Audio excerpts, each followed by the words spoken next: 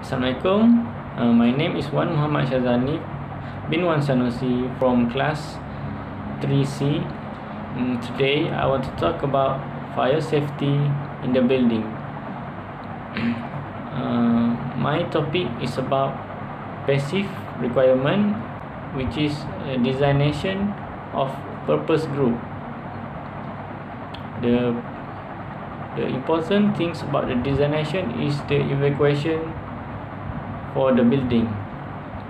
Uh, the definition of the evacuation means exit a facility or the building as directly and safely as possible.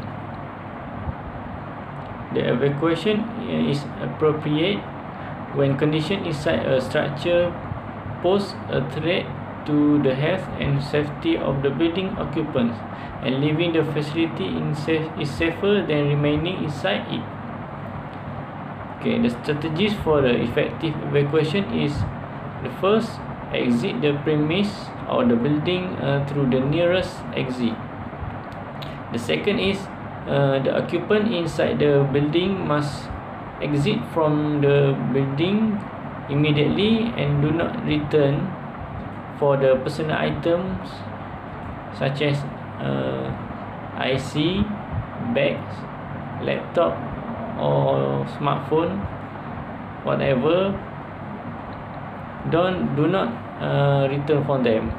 Okay, the third is, if possible, uh, inform others to evacuation, which mean uh, the neighbor or the side room side room the the neighbor should uh, inform the the other neighbors to evacuate as fast as possible. The last is uh, avoid coming in contact with the hazard such as a fire suspicious package that might explode or something and violent intruder. So that's all from me.